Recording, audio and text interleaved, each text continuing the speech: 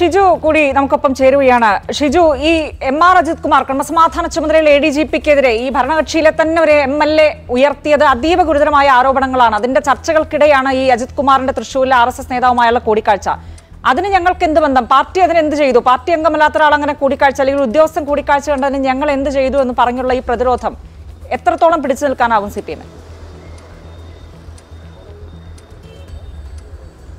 C P എമ്മിനെ സംബന്ധിച്ച് C P M ഭരിക്കുന്ന ഒരു സർക്കാരിന്റെ ഉന്നത പദവിയിലിരിക്കുന്ന ഒരു ഉദ്യോഗസ്ഥനാണ്. അത് ഔദ്യോഗികമാണെങ്കിലും അല്ലെങ്കിലും ആർ എസ് എസിന്റെ ഒരു മുതിർന്ന നേതാവിനുമായി കൂടിക്കാഴ്ച നടത്തുന്നത്. ആ കൂടിക്കാഴ്ചയുടെ വിശദാംശങ്ങൾ എന്ത് എന്ന് വെളിപ്പെടുത്തേണ്ടത് അദ്ദേഹം തന്നെയാണ്. പക്ഷേ അദ്ദേഹം പറയുന്നത് അതൊരു സ്വകാര്യ സന്ദർശനമാണ് സുഹൃത്തിനൊപ്പമാണ് പോകുന്ന പോകുന്നത് എന്നുള്ളതാണ്. പക്ഷേ ഇത് ഈ പാർട്ടിയെ സംബന്ധിച്ച് ഒരു ആർ എസ് എസിന്റെ ഒരു മുതിർന്ന നേതാവുമായി ഒരു സർക്കാരിന്റെ പദവിയിലിരിക്കുന്ന ഒരു ഉന്നത ഉദ്യോഗസ്ഥൻ കൂടിക്കാഴ്ച നടത്തുന്നത് ശരിയാണോ എന്നുള്ളൊരു ചോദ്യമാണ്. ഇന്നലെ ആ പാർട്ടി സംസ്ഥാന സെക്രട്ടറി എക്കാര്യത്തിൽ പറയുന്നത് അദ്ദേഹത്തിന് കാണാം കാണാതിരിക്കാം. അത് പാർട്ടിയുടെ പ്രശ്നമല്ല. പക്ഷേ ഏതെങ്കിലും തരത്തിൽ ഈ ഉന്നത ഉദ്യോഗസ്ഥനെ മുഖ്യമന്ത്രിക്ക് വേണ്ടി ഒരു ഒരു കൂടിക്കാഴ്ചയ്ക്ക് വേണ്ടിയാണ് പറഞ്ഞു വിട്ടതെങ്കിൽ മാത്രമാണ് അതിൽ പ്രശ്നം. അങ്ങനെ ഒരു ബന്ധവും ഈ കൂടിക്കാഴ്ചയ്ക്കില്ല. അതുകൊണ്ട് തങ്ങളെ ഇത് ബാധിക്കുന്ന പ്രശ്നമല്ല എന്നാണ് സി പി എം വിശദീകരിക്കുന്നത്. ഇന്ന് പാർട്ടി സെക്രട്ടറിയുടെ വിശദീകരണത്തിലും അത് തന്നെയാണ്. അതായത് അത് തങ്ങളെ ബാധിക്കുന്ന വിഷയമല്ല. പക്ഷേ ഇടതുമുന്നണിയിൽ പൊതുവെ ഇപ്പോൾ സി പി ഐ സംസ്ഥാന സെക്രട്ടറി അടക്കമുള്ളവർ പറയുന്നത് ഇടതുമുന്നണി ചെലവിൽ അങ്ങനെ ഒരു കൂടിക്കാഴ്ച വേണ്ടതില്ല.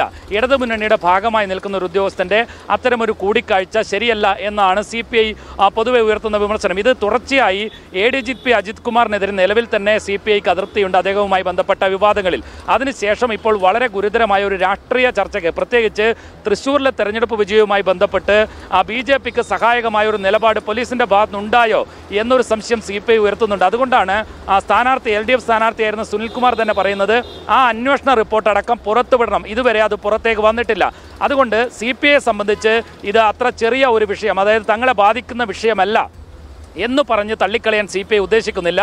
ആ വിഷയം അതിന്റെ ഗൗരവത്തോടു കൂടി തന്നെ ചർച്ച ചെയ്യണം എന്നൊരാവശ്യം C P C P I ഉയർത്തുന്നുണ്ട്. അതുകൊണ്ട് സി പി എം ഈ കാര്യത്തിൽ എന്ത് നിലപാടെടുക്കുന്നു എന്നതെല്ലാം പ്രസക്തമാണ്.